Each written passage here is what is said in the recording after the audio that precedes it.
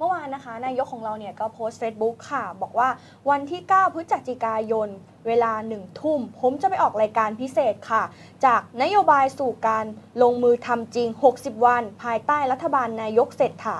ผ่านทางช่อง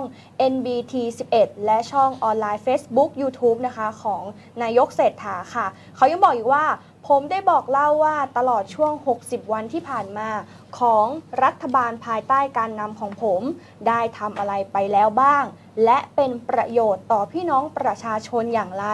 รวมถึงอยากแชร์ความคืบหน้า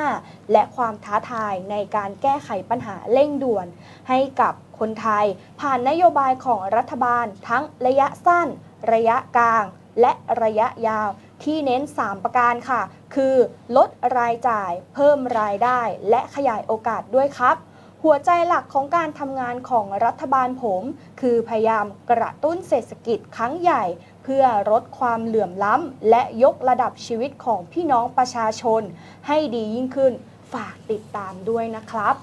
เท่ากับว่าท่านนายกค่ะแถลงนโยบายรัฐบาลวันที่ 11 กันยา 11 พฤศจิกาจะครบ 2 เดือนก็หลักๆที่ท่านนายกบอกว่าจะแถลงนะครับ ก็ในส่วนของเรื่องควิกวิน3 เรื่องนะครับ ลดรายจ่ายเพิ่มรายได้ แล้วก็เรื่องการขยายโอกาส แต่พอเราไปดูนะ ในส่วนลดรายจ่ายเนี่ยจำเรื่องอะไรได้บ้าง 60 วันอ๋อเรื่องรถไฟไหมพี่เก่ง รถไฟฟ้ารถไฟ20ฟ้าบาทตลอดสายใช่ใช่ไหม20บาทแล้วจำเรื่องอะไรได้อีกครับหนุนนึกก่อนอ่านะครับก็ในส่วนลดลดรายจ่ายมันก็จะมีลดพลังงานอ๋อ ลดน้ำมันใช่ลดค่าใช่แก๊สนะ ไฟฟ้า 20 บาทตลอดสายนี่ส่วนลดรายจ่ายเนี่ยเริ่มเห็นผลละ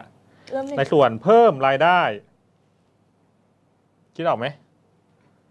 คิดอยู่พี่เก่งฮะหนูยังไม่เห็น อ่าใช่เพิ่มเพิ่มรายได้ยังไม่ชัดท่านค่ะนายกบอกว่าเรื่องเงินดิจิตอลหนึ่งหมื่นเนี่ยจะชัดวันศุกร์แต่ว่าท่านนายกชิงแถลงก่อนวันที่9ค่ะยังไม่ชัดหนึ่งค่าแรง 600 บาทนะ ตามนโยบายหาเสียงก็ยังไม่ชัดเขาบอกว่าปีเนี้ยค่ะขึ้นไม่ถึง 400 อืมค่ะอะนะอันนี้ก็ยังไม่ชัด แล้วก็เงินเดือนปริญญาตรี25,000ก็ยังไม่ชัด เดี๋ยวรอรอดูพรุ่งนี้แถลง แล้วก็ในส่วนสร้างโอกาสอันนี้นโยบายเขาจะมีสร้างงานเพิ่ม 20 ล้านตำแหน่ง สร้างศูนย์ซอฟต์พาวเวอร์ค่ะปฏิรูปการศึกษาสร้างเขตธุรกิจใหม่ อันนี้ก็ยังเป็นเอ่อนำมาทำอยู่ ยังไม่สู่การขับเคลื่อนนะครับ เดี๋ยวรอค่ะท่านนายกพรุ่งนี้แล้วกันนะครับว่าจะชี้แจงอย่างไรบ้างนะอันนี้ก็สำหรับแฟนคลับท่านนายกนะ แล้วก็ คนไทยมรอความคืบหน้าแล้วกันนะครับ60 วันของรัฐบาลเศรษฐานะ แต่เราก็ดูเหมือนนานนะ นานนานไหมหนูว่าว่านานนะฮะเพราะว่ามันสองเดือนมันเกิดทั้งเรื่องเรื่องกลาดยิงค่ะกำนันนก ใช่ อะไรอย่างงี้ใช่ไหมมันมีเรื่องใหญ่ๆ สงครามอิสราเอล สงครามอะไรอย่างงี้ใช่ไหมใช่ค่ะคือหกสิบวันมันก็เลยเฮ้ยทำไมมันยาวนานอย่างนี้ หนูนึกว่าปีนึงแล้วนะพี่เก่ง เหมือนเจอมรสุมทุกอย่างไปหมดเลย รัฐบาลชุดนี้ อ่า ใช่นะครับ แล้วก็เดี๋ยววันนี้นะเขาบอกว่านี้ด้วยนะ ท่านนายกบอกว่าก่อนแถลงผลงานนะครับ ปรากฏว่าท่านนายกบอกว่าวันนี้ตอนหนึ่งทุ่มค่ะนัดพักร่วมรัฐบาลนะเฉพาะหัวหน้าพักนะ ไปดินเนอร์นะที่ร้าน Spider Collection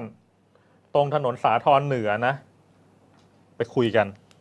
คุยกันก่อนแถลงผลงานแสดงว่าเขาก็ต้องมีการแลกเปลี่ยนเขาไม่ให้นักข่าวเข้าด้วยนะอ๋อเออเขาเขาบอกว่าเดี๋ยวกลับมาเดี๋ยวเล่าให้ฟังนะค่ะเท่ากับว่าได้เลิกดินเนอร์กระชับมิตรรอบแรก 2 เดือนอะ นะอันนี้ก็หัวหน้าพักร่วมรัฐบาลนะแต่ว่าหลายคนก็สงสัยนะว่าพักร่วมรัฐบาลมันมีถึง 11พักเลยเหรอทำไมที่ผ่านมามันก็มีแค่มันมันรู้สึกว่ามันมีแต่พักเพื่อไทยพักเดียวหรือเปล่าในการที่ออกข่าวหรือว่ายังไง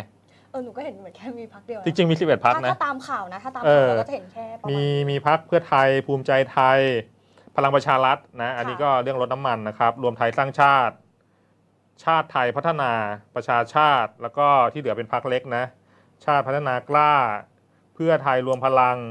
เสรีรวมไทย พักท้องที่ไทยแล้วก็พักพลังสังคมใหม่อะอันนี้ก็จะได้เห็นหน้าเห็นตาแล้วหัวหน้าพักเราจะหลังได้จากเห็นกันสักทีหายไปนะ หลาย ๆ พักนะครับ ก็ไม่ค่อยได้เห็นหน้ากันเท่าไหร่อะอันนี้ก็